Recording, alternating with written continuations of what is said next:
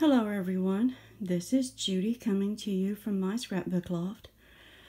And now look what two old people have undertaken. We are going to put a new floor in up here in my scrapbook loft, craft loft, whatever you want to call it. We've tore half of it out. I've got stuff piled up on the shelves.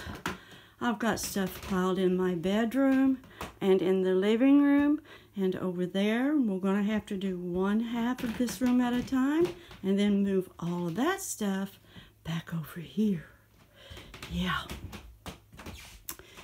This is our oh, yeah. This is it.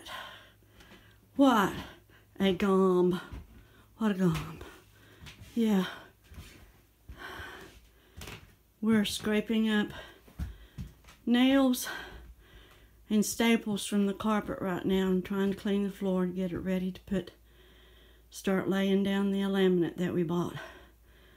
This is the first step to one of the things on my bucket list, having my scrapbook, my craft room remodeled. I want to thank you all for watching.